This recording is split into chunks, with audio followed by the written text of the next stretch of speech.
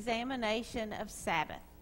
Sabbath is one of those spiritual disciplines that society doesn't really recognize as a discipline anymore.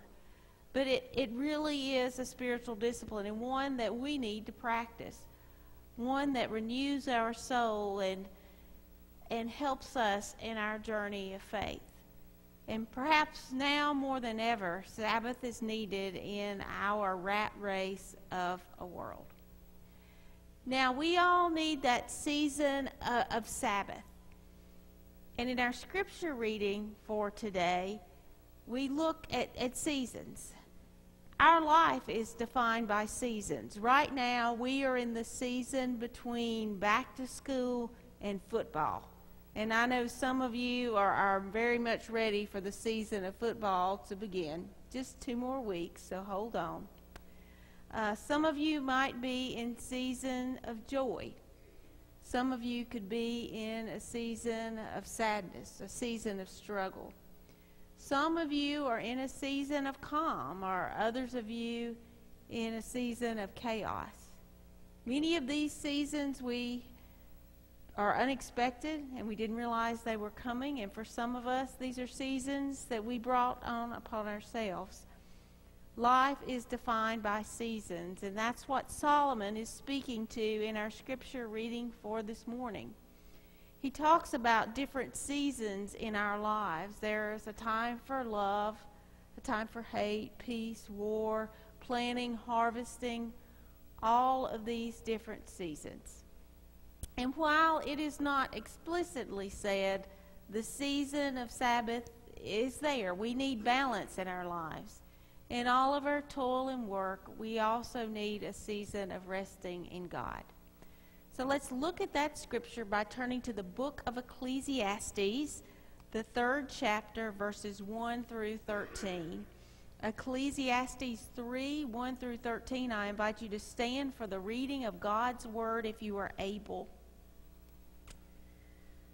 For everything there is a season and a time for every manner under heaven a time to be born, a time to die, a time to plant and a time to pluck up what is planted, a time to kill and a time to heal, a time to break down and a time to build up, a time to weep and a time to laugh, a time to mourn and a time to dance, a time to throw away stones and a time to gather stones together, a time to embrace and a time to refrain from embracing a time to seek and a time to lose, a time to keep and a time to throw away, a time to a time to tear and a time to sow, a time to keep silence and a time to speak, a time to love and a time to hate, a time for war and a time for peace.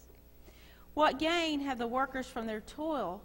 I have seen the business that God has given to everyone to be busy with he has made everything suitable for its time. Moreover, He has put a sense of past and future into their minds.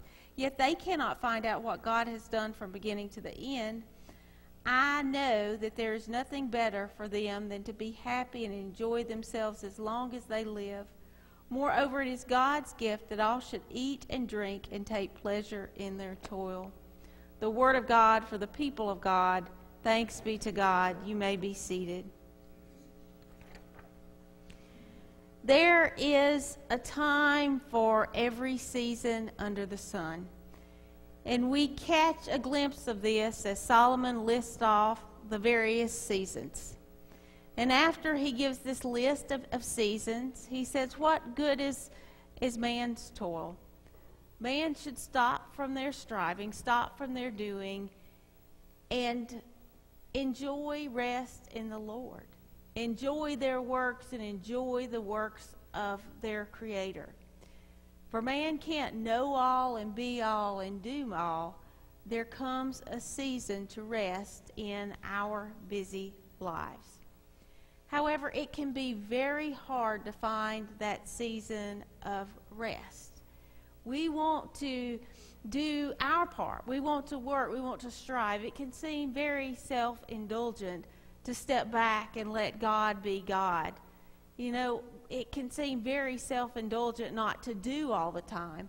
After all, I stand up here Sunday after Sunday and tell you, you need to be doing more. You need to be striving more. You need to work here and there in the church.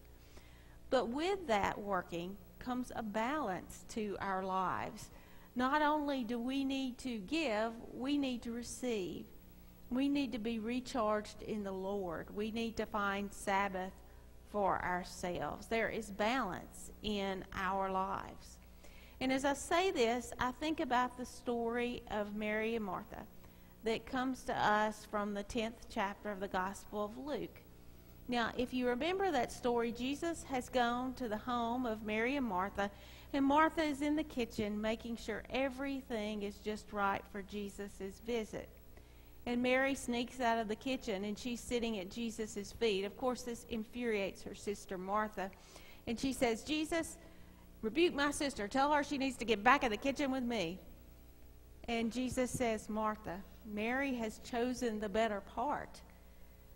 Of course, uh, Martha doesn't understand, and, and they don't see what we know in reading the gospel. Jesus is headed to the cross. There will always be work in the kitchen but the time to sit at Jesus' feet is very limited. That is the place to be. That is where Mary needs to be and where Martha should be in that moment. There is balance to our lives. We need that time to sit at Jesus' feet to balance that time of work in the kitchen. And of course, I have a hard time with that scripture because I'm a Martha. I want to be working in the kitchen and I want everyone working alongside of me. We have these seasons in our lives where we need to be in different places and we need to discern when Sabbath needs to come. So I guess at this point it might help us to explore what Sabbath really means. Now, Sabbath is from the Jewish word Shabbat, and we looked at last week its um, roots in, in the Ten Commandment. Of course, it came, God modeled Sabbath in creation. He rested on the seventh day. And he gave the command of the Ten Commandments that thou shalt observe Sabbath. You should keep Sabbath. You and your household, everyone shall not work. You have six days to get it done. Keep Sabbath. And if you look at the definition of Sabbath, Sabbath is the law observed by Jews and some Christians from sundown on Friday to sundown on Saturday. It is a specific set time in the week, a calendar. And I saw this up close when I went to Israel last year.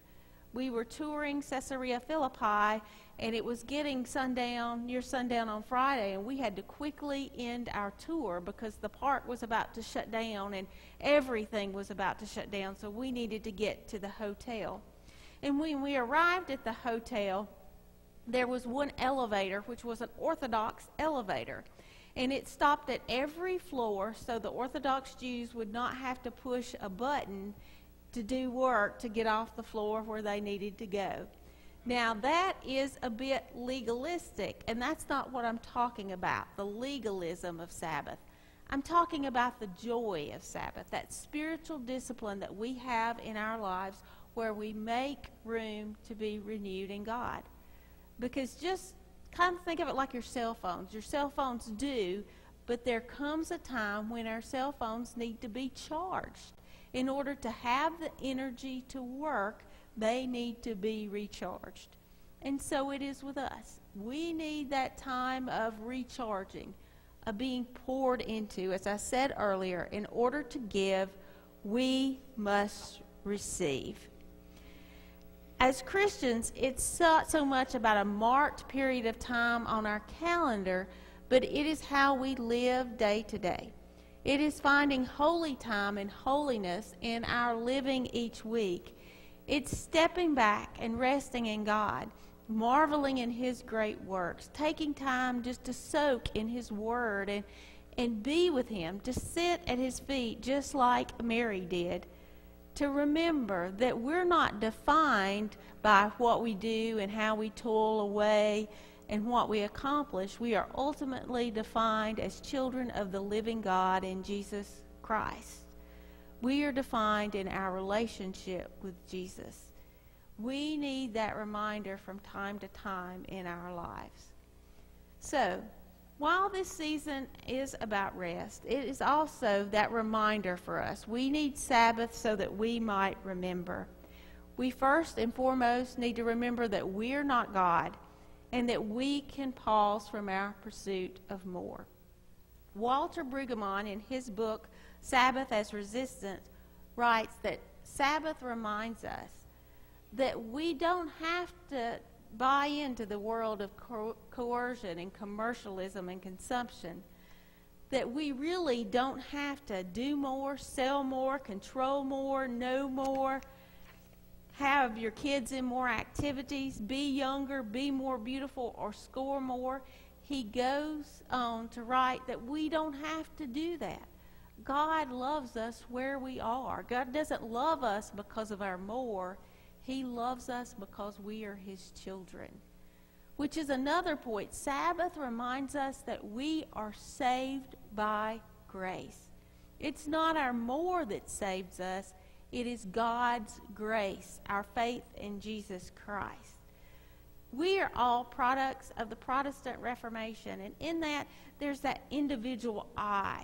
We don't need a mediator, it's about I and we are product, uh, products of a Puritan work ethic in this country. We work hard. We can do it all by ourselves. And uh, for those of you who grew up in the Methodist Church, we're products of this idea of moving on to perfection, sanctification. We're being made perfect in love in this lifetime. And your preacher stands up in the pulpits and talks about what you need to be doing. And with that, we feel guilty. We want to do more and accomplish more. We want to earn our way into heaven and please God with our, our earning and our striving and our toiling. And ultimately, though, it's not these works which earn our way into heaven. It is grace. It is Jesus Christ who makes a way for us to heaven. We don't have to do more to be loved by God. God loves us as we are. We just have to receive that love in our lives. And that's an important message for all of us to remember. We must not forget what saves us. God saves us, and we do not save ourselves. We also need Sabbath as an exercise to trust in God. Now, we say, I trust you, God. I fully trust you. But if you're like me, we trust God and we're working on the backup plan. We're doing our part just in case God's timing and work is not the way we want it. We trust God, but we don't hand it over to God like we should. We want to work in the background and get things done just in case God needs a little help to, to fix it the way we would like it to be fixed. Next week, we're going to look at a particular scripture from the Sermon on the Mount when God talks about uh, not to worry and serving two masters and in that, I mean, where Jesus talks about not worrying and serving two masters, and in that, Jesus points out the example of the birds of the air and the lilies of the field and how God provides for them. You know, if God provides for his creation in such a way, can't we trust God to provide for us? Can't we trust God to be for us and to take care of us? Sabbath reminds us that we don't have to duel and toil. We can trust God for our needs, and God provides again and again. Now, at this point, you're likely saying to yourself, I really like the Sabbath concept. I can sleep in next Sunday. I don't have to study my Bible. I don't have to mow the yard again. I don't have to keep a clean house. And I can lay on my couch and eat Doritos. Well, that is not what I'm preaching here. Sabbath does not equal lazy.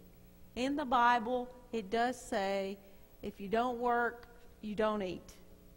But with this, this isn't so much about self centeredness as it is God centeredness. And that's what makes Sabbath Sabbath. It's not about focusing on the I and what we do and how we do. Rather, it's focusing on God and receiving that gift from God, resting in God so we can grow deeper in His love and grace, receiving the gift from God and finding the Lordship in Christ once again. Because we practice Sabbath anytime we say, I can let the world go away and I have time to go and worship. or I have time to study my Bible. I have time to savor that cup of coffee God has given me and just spend quiet time with God. I have time to take that nap because I need rest and God can handle this for a while. I have time to meet with fellow Christians and pray for them. I have time to stop and marvel at God's creation.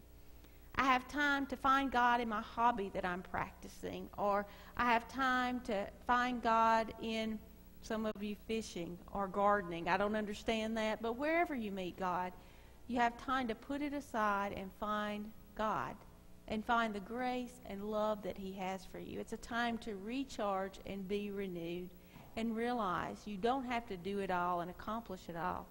You can simply be with the Lord. Because let's face it, we need that time to be with the Lord, to leave the world aside and rest in Christ. Because the world has enough of us. The world has us most of the time. For many, much of us, we're either at work or we're at school. We're buying groceries. We're paying bills. We're doing housework.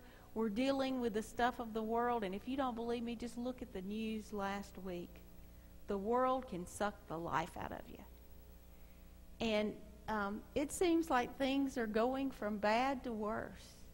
And if we let the world have us all the time, then the world will suck the Jesus right out of us. And we need to be filled with Jesus. We need that grounding so we can be a witness for Christ in this world. We need that grounding, that rest and renewal, so we can be a voice of love and compassion and grace and give witness to the greatest love this world has ever known. We need that renewal and recharging in each of our lives, and that's why Sabbath is so very important. We need that balance. We need the balance between world and God. We're Christians all the time. And we need to remember that and find the time to be recharged and renewed. God is there for us in all the seasons of our lives, in our doing and our resting, in our being and our accomplishing. We shouldn't let the world have us all the time, but we should remember to take that time and be like Mary, to sit at the feet of Christ so that we might be prepared for the work that God does have for us to do. We need that season of Sabbath in order to love God fully and be prepared to love our neighbors as ourselves. Shalom. Amen. Let us pray.